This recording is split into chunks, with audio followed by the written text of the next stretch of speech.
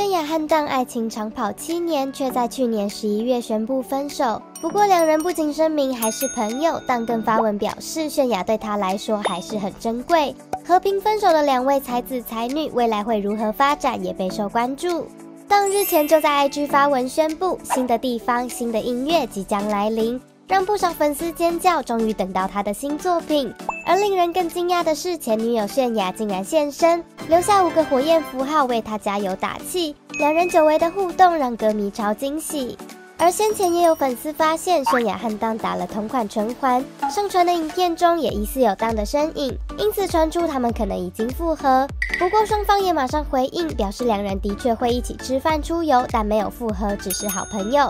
这次档的回归预告，泫雅大方留下祝福，让粉丝们都相当感动，也期待两人未来能再次合作啊！